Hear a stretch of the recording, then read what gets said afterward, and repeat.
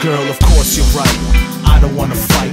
I just wanna get down to business tonight. I do know I never, never hurt you on purpose. But still, you love to make a brother feel like he's worthless. Cause I don't love you the way that you love me. Is not an excuse for you to act all ugly. And I don't argue, cause you won't listen. I just nod my head until we get to the kissing. But it's so hard because you don't stop bitching. It's blah, blah, blah in a run on sentence. You think that if we argue and then have sex, our relationship is taken to a whole new step. Wrong. I'm just patiently playing along until it's time for you to jump out the thong, thong, thong. And just because we bone doesn't mean you ain't driving me crazy. You're killing me, baby. You talking about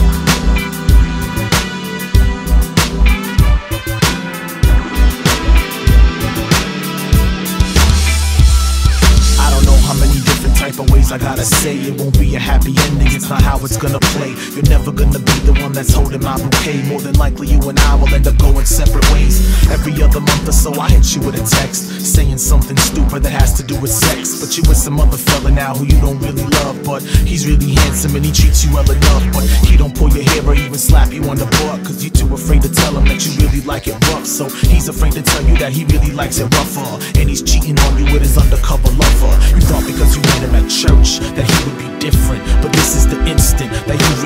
realize that a man is a man, is a man is a man.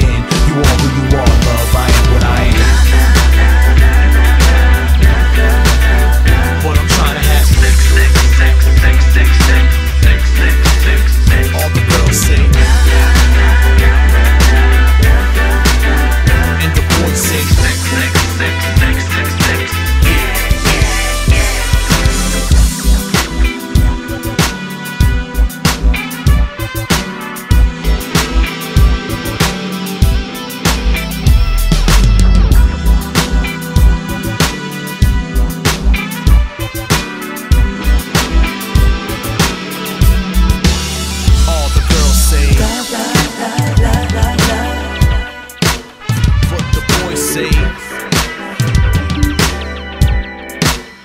time the girls say la la la la la la